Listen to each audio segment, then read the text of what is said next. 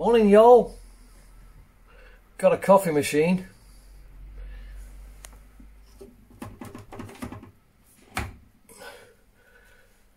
Don't drink coffee, so I don't know how that works. What is the obsession with coffee machines? I really do not know. Anyway, the sea! And it's grey and it's windy. And I have a funny feeling that it isn't going to be a huge amount of fun on the golf course today. The Shite Hawks paid me a visit. I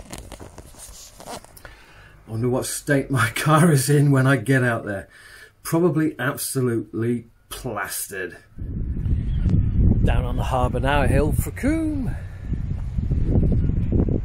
Let's have a look. People fishing. Some strange woman. You might be wondering why I refer to seagulls as shite hawks. Well, in one night,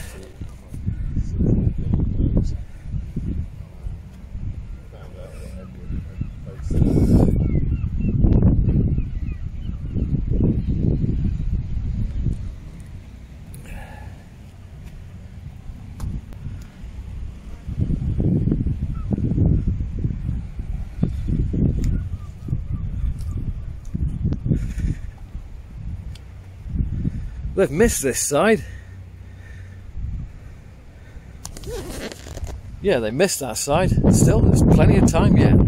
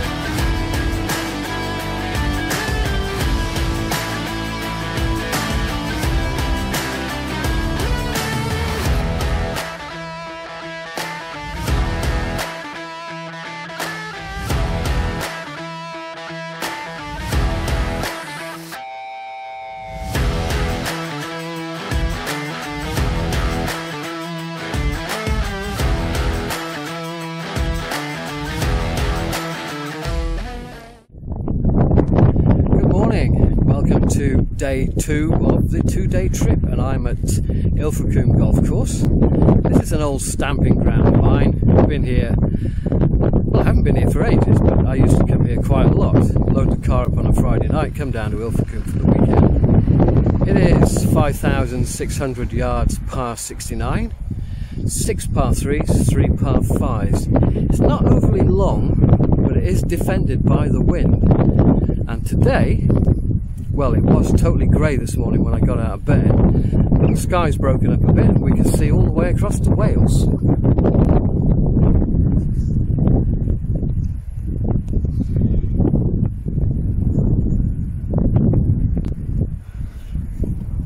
I'll bet that didn't focus. Anyway, first hole, par 5, 439 yards. Doesn't sound very long for a par 5 but we're going up there. Well, this is going to be a peculiar video. Practically everything is muted, and I've got to do a full voiceover. Never done a full voiceover before. Anyway, first hole. This is quite narrow up here, so I'm grateful I hit a decent tee shot. Left me about 213 you can't see the green from here. I had to walk forward and get a line. And I didn't quite get it right, even though I hit a damn good shot I was very pleased with.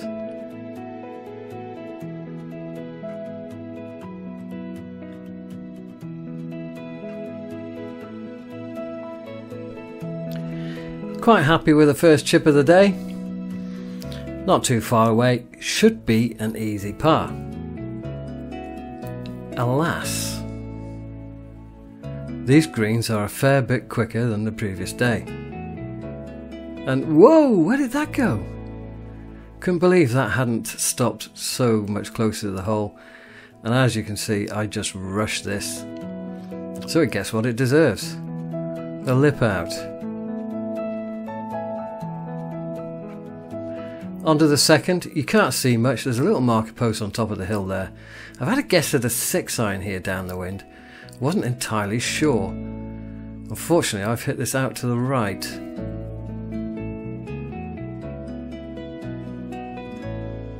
So I set up the camera and wander across, and as soon as I get there, I know I've got the wrong club. Do you do this? Leave your bag, walk off with a wedge, and when you get there, it's the wrong wedge. So here we go. Another bogey!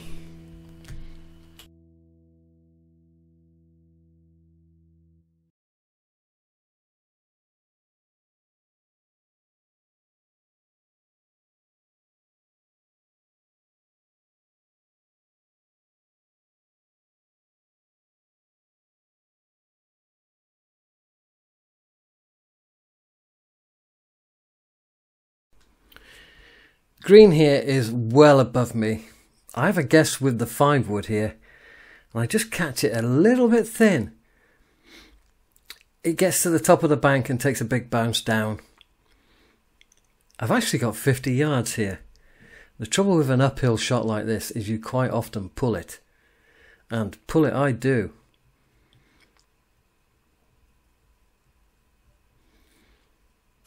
Horrible chip. Ball is way below my feet here. This is not very nice. But I do okay out of this. You know, this is fine. I mean, it's it's only missed the hole by a tiny amount.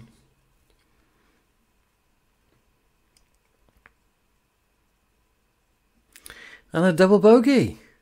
We're four over after three. This could well be the shortest par 3 you ever play on a full-size golf course. Don't be fooled into thinking it's easy. Even without the wind, this hole is not easy. And I've hit this just a fraction too far. As soon as I walk onto the green and look at this downslope, I know I've had it. There's no way this ball is going to stop by the hole.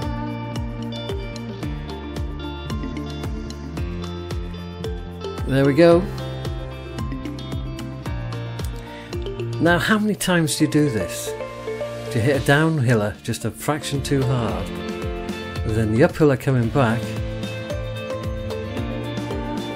is too soft. I've bogeyed a hole of 64 yards. Right, first par 5 and it's a short one and it's down the wind. Time for a bit of payback here. And I don't think I could have hit that off the toe anymore without actually missing the ball. Right, 19 degree. Somehow or other, I've got to get up this hole.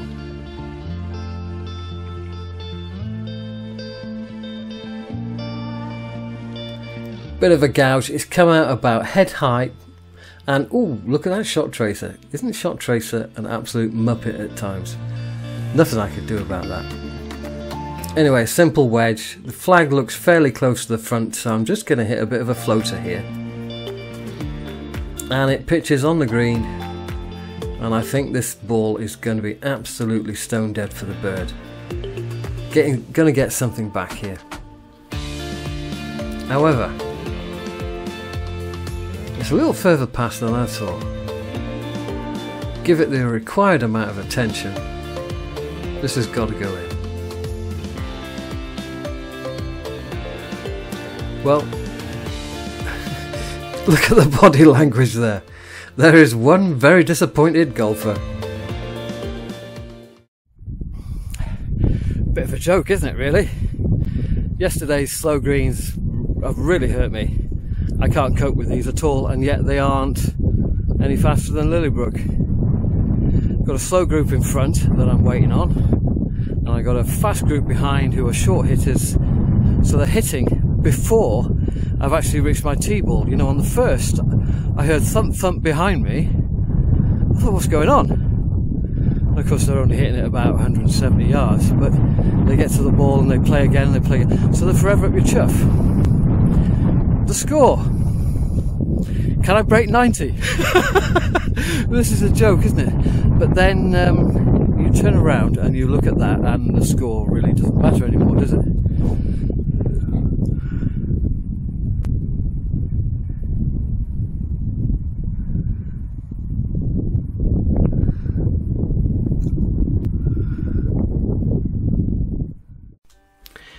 The sixth, another par three. This one's back into the breeze. I've guessed with the hybrid here. And as soon as I've hit it, I know I'm in trouble. In fact, I can't see from here whether I've made it over the hedge or not.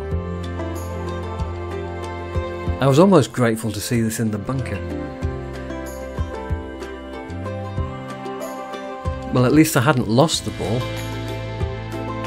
And that did not come out as I thought. That bunker looked quite firm. I was expecting to get uh, further up the green here. I was expecting a much hotter contact with the ball. Another putt for par. Well, at least this one stopped by the hole, so things are looking up. But it's another bogey.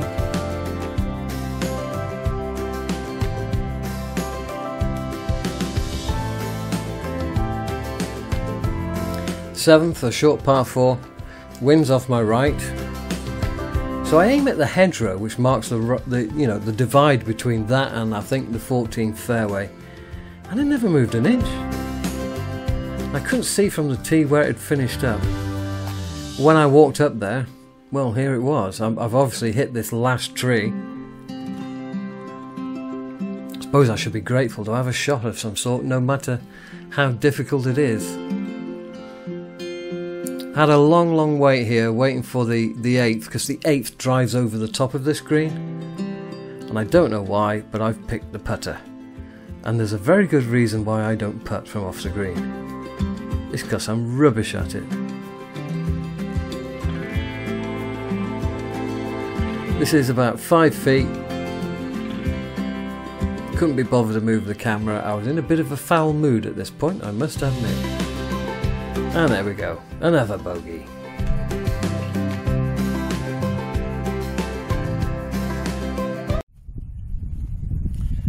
Right, eighth tee. Score is, um, I don't know, I've played seven holes. I've got to be at least eight or nine over par. oh, this is funny. Uh, yesterday's greens obviously screwed me up.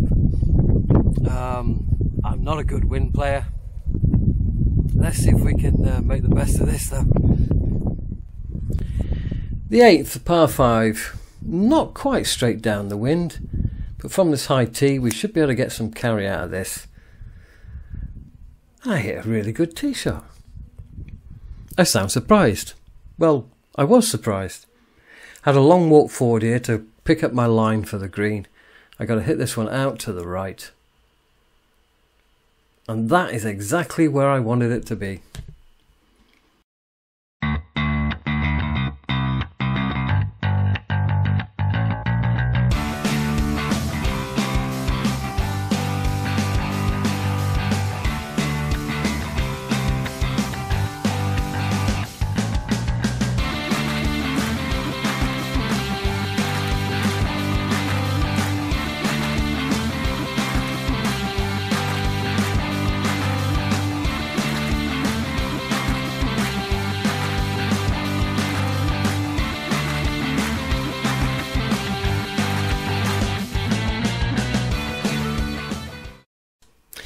Ninth.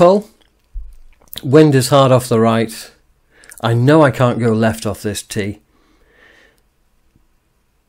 And I am really, really proud of this cut that I had a, hit up into the wind to hold it straight. Really, really proud of that one. And uh, this shot tracer doesn't show the actual amount of turn on the wall. I hit this well right. And it comes in to the left side of the green. Got an opportunity here for the second par of the night. The second par. What a difference compared to yesterday.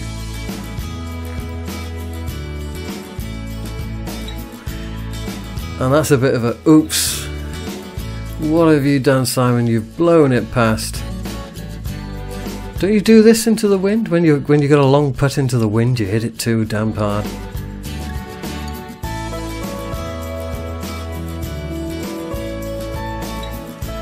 Anyway, this for a final par. A little bit extra time lining this one up properly. Perhaps I should have started the round lining things up properly.